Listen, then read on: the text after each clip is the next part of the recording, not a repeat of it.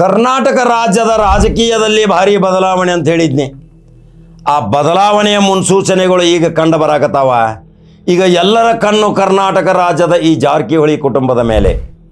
ಯಾಕಂದರೆ ಕಳೆದ ಬಾರಿ ಜಾರಕಿಹೊಳಿ ಕುಟುಂಬ, ಇಡೀ ದೇಶ ಎಲ್ಲ ಜಗತ್ತು ನೋಡು ಹಂಗ ಒಂದು ದೊಡ್ಡ ಘಟನೆಯನ್ನು ಮಾಡಿದ್ರು, ಇಲ್ಲಿ ಸರ್ಕಾರವನ್ನು ಬೆಳೆಸಿ ಮತ್ತೊಂದು ಸರ್ಕಾರವನ್ನು ತಂದಿದ್ರು ಅದೇ ಜಾರಕಿಹೊಳಿ ಕುಟುಂಬ ಅಲ್ರಿ.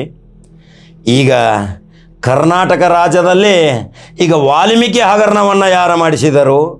ಈ ವಾಲ್ಮೀಕಿ ಹಗರವನ್ನು ಬಯಲಿಗೆ ತರುವಂಥ ದಾಖಲೆಗಳನ್ನು ಒಪ್ಪಿಸಿದಂಥ ಆ ನಾಯಕನ ಯಾರು? ಅದು ಸಹಿತ ಈಗ ಕೂಲಂಕುಷವಾಗಿ ಹೊರಗೆ ಬೀಳುವುದರಲ್ಲಿ ಸಂಭವವಿಲ್ಲ. ಇದೇ ಸಿದ್ದರಾಮಯ್ಯವನ್ನು ಸರ್ಕಾರವನ್ನು ಅಸ್ಥಿರಗೊಳಿಸಿ ತಾನು ಮುಖ್ಯಮಂತ್ರಿ ಆಗಬೇಕನ್ನುವ ಹುನ್ನಾರ ಮಾಡಿದಂಥ ಕರ್ನಾಟಕ ರಾಜ್ಯದ ಕಾಂಗ್ರೆಸ್ದಲ್ಲಿ ಆ ನಾಯಕನಾರು. ಈಗ ಎಲ್ಲರಿಗೂ ಇದೊಂದು ಬಹಳ ಚರ್ಚಾಸ್ಪದ ವಿಷಯ. ಆದರೆ ಸುಮ್ಮಕೊಂಡು ಅಂಥ ವ್ಯಕ್ತಿಯಲ್ಲ ಇದೆ ಸಿದ್ದರಾಮಯ್ಯ. ತಾನು ರಾಜೀನಾಮೆ ಕೊಡುವಂಥ ಪರಿಸ್ಥಿತಿ ಬಂದರೂ ಸಹಿತ ತನ್ನ ಇಬ್ಬರು ಶಿಷ್ಯರಲ್ಲಿ ಒಬ್ಬರನ್ನು ಮುಖ್ಯಮಂತ್ರಿಯನ್ನಾಗಿ ಮಾಡಿ ತಾನು ವಿಶ್ರಾಂತಿ ತೆಗೆದುಕೊಳ್ಳುತ್ತೇನೆ ಅಂತ ಒಂದು ತಲೆಯಾಗ ಅವರು ವಿಚಾರ ಸಹಿತ ಮಾಡಾಕತ್ತ ಈ ಸಿದ್ದರಾಮಯ್ಯ. ಈಗ ಹಂಗ ಸುಮ್ಮ ಕೂತಿಲ್ರಿ. ಎಲ್ಲ ಭಾಳ ಚರ್ಚೆ ನಡೆದಾವ, ಎಲ್ಲ ಎಂ ಎಲ್ ಎಗಳನ್ನ ಕರೆ ಕರೆಸಿ ಮಾತುಕತೆ ನಡೆದಾವ, ಗುಪ್ತ ಮೀಟಿಂಗ್ ನಡೆದಾವ. ಎಲ್ಲೆಲ್ಲಿ ಯಾವ್ಯಾವ ಶಾಸಕರು ಎಲ್ಲೆಲ್ಲಿ ಹೊಂಟಾರ ಅನ್ನೋದು ಎಲ್ಲರಿಗೂ ಕುತೂಹಲ ಎಲ್ಲರ ಕಣ್ಣು ಈಗ ಸತೀಶ್ ಜಾರಕಿಹೊಳಿ ಮೇಲೆ. ಸತೀಶ್ ಜಾರಕಿಹೊಳಿ ಮನಸ್ಸು ಪಟ್ರೆ ಎಂಬತ್ತು ಶಾಸಕರನ್ನ ಒಂದು ಕಡೆ ಕೂಡಿಸುವಂಥ ಶಕ್ತಿ ಸರ್ಕಾರ ಅಸ್ಥಿರಗೊಳಿಸಬಾರದು. ಸರ್ಕಾರದಲ್ಲಿ ಯಾವುದೇ ಅನಾಹುತ ಆಗಿ ಕರ್ನಾಟಕ ಜನತೆ ನಮಗೆ ಐದು ವರ್ಷ ಕೊಟ್ಟಾರ.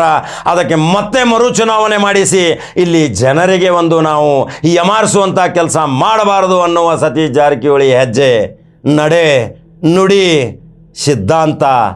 ಸರ್ಕಾರದಲ್ಲಿ ಮುಖ್ಯಮಂತ್ರಿ ಬದಲಾವಣೆ ಆಗಬಹುದು, ಆದರೆ ಸರ್ಕಾರ ಬದಲ ಆಗಬಾರದು. ಇದೇ ಸರ್ಕಾರ ಉಳಿಯಬೇಕು, ಐದು ವರ್ಷ ಪೂರ್ತಿ ಗೊಳಿಸಬೇಕು ಅನ್ನುವ ಒಂದು ಛಲದೊಂದಿಗೆ ಇವತ್ತು ಏಟಿಗೆ ಎದುರೇಟು ಹಾಕಿ ನಿತ್ತಂಥ ಇದೇ ಸತಿ ಜಾರಕಿಹೊಳಿಗೆ ಬೆನ್ನಲವಾಗಿ ನಿಂತಂಥ ಕರ್ನಾಟಕ ರಾಜ್ಯದ ಎಂಬತ್ತು ಶಾಸಕರ ದರ್ಶನ ನೋಡ್ತೀರಿ. ಆ ಮೀಟಿಂಗ್ಗಳು ಎಲ್ಲಿ ಆಗಾಕತ್ತಾವ? ಆ ಮೀಟಿಂಗ್ಗಳಲ್ಲಿ ಏನು ಚರ್ಚೆ ನಡೆದಾವ? ಆದರೆ ಸಿದ್ಧಾಂತವನ್ನು ಬಿಟ್ಟು ಕೊಡಲಾರದಂಥ ಈ ಚಾಣಕ್ಯ ರಾಜಕಾರಣಿ. ಇವತ್ತು ಕರ್ನಾಟಕ ರಾಜ್ಯಕ್ಕೆ ಒಂದು ಸಿಂಪಲ್ ರಾಜಕೀಯ ಅಂದರೆ ಏನು? ಆ ರಾಜಕೀಯದಿಂದ ಜನರಿಗೆ ಏನಾಗಬೇಕು? ಜನರು ನಮ್ಮನ್ನು ಏನಕ್ಕೆ ಮಾಡಿ ಕಳಿಸ್ಯಾರ ಇನ್ನ ಉನ್ನತ ಹುದ್ದೆಗೆ? ಜನ ಏನು ಬಯಸ್ತಾರ? ಆ ಜನರಿಗೆ ಆ ಆಶೋತ್ತರಗಳನ್ನು ಈಡೇರಿಸುವಂಥ ಶಕ್ತಿ ನಮ್ಮಲ್ಲಿ ಬರಬೇಕು. ಜನತೆಯ ಕೈಗೆ ಅಧಿಕಾರ ನೀಡಬೇಕು. ಜನರ ಮಧ್ಯೆ ನಾವು ಬೆರೆತಿರಬೇಕು ಅನ್ನುವ ಈ ಸತೀಶ್ ಜಾರಕಿಹೊಳಿ ಸಿಂಪಲ್ ರಾಜಕೀಯ ಕನಸನ್ನು ನನಸ ಮಾಡುವ ಸಲುವಾಗಿ ಜನತೆ ಮತ್ತು ಶಾಸಕರವರ ಬೆನ್ನ ಹತ್ಯಾರಂದ್ರೆ ಯಾರೇನು ಮಾಡೋಕ್ಕೆ ಸಾಧ್ಯ ಇಲ್ಲಲ್ರಿ? ಕರ್ನಾಟಕ ರಾಜ್ಯದಲ್ಲಿ ಯಾವುದೇ ಸರಿಯಿಲ್ಲ ಅಂತ ಹೇಳ್ಕೊತ ಬಂದೀನಿ. ಇಲ್ಲಿ ಏನು ಕುತಂತ್ರಗಳು ನಡೀತಾವ? ರಣತಂತ್ರಗಳು ನಡೀತಾವ? ಯಾವ ರಣತಂತ್ರಗಳು, ಯಂತ್ರಗಳು ನಡೆದರೂ ಸಹಿತ ಈ ಜಾರಕಿಹೊಳಿ ಕುಟುಂಬ ಏನು ಮಾಡತೈತಿ? ಜಾರಕಿಹೊಳಿ ಕುಟುಂಬ ಯಾವ ಹೆಜ್ಜೆ ಇಡ್ತೈತಿ? ಅದೇ ಇಲ್ಲಿ ಸಿದ್ಧಾಂತದ ಮುಖಾಂತರ.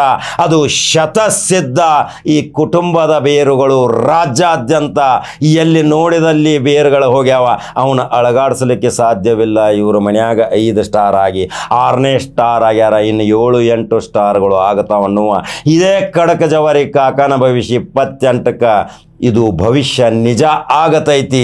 ನೈನ್ ಸ್ಟಾರ್, ಟೆಲ್ ಸ್ಟಾರ್ ಆಗತಾರಂತ ಹೇಳಿದ್ನಿ ಇದು ಒಂದು ಕರ್ನಾಟಕ ರಾಜ್ಯ ಅಲ್ಲ ಭಾರತ ದೇಶ ಅಲ್ಲ ಗಿನ್ನಿ ಸಿರ್ಕಾಡ ಆಗತೈತಿ.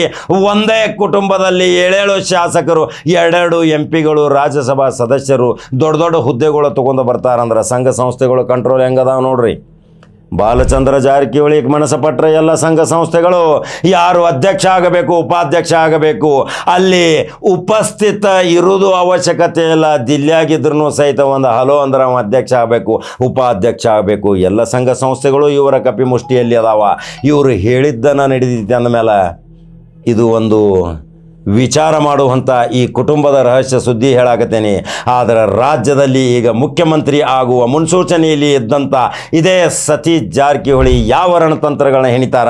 ರಾಜ್ಯ ರಾಜಕಾರಣದಲ್ಲಿ ಏನು ನಡೆದೈತಿ ಅನ್ನೋದು ವಿಚಾರವಂತರು ನಿಮ್ಮ ಅನಿಸಿಕೆಗಳನ್ನ ನಮ್ಮ ಕಮೆಂಟ್ ಬಾಕ್ಸ್ನಾಗ ಹಾಕಿರಿ.